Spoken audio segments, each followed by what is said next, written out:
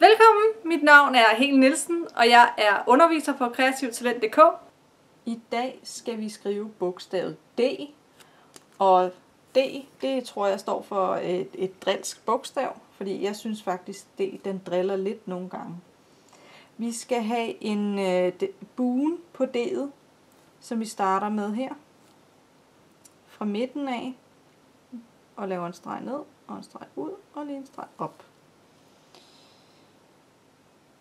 Når vi så skal have ryggen på D'et, så øh, arbejder vi hen over her, og vi skal sørge for, at øh, vores øh, begynderstreg, den bliver lidt parallel med den her, så den ligger sådan og sådan, og så skal vi ned her,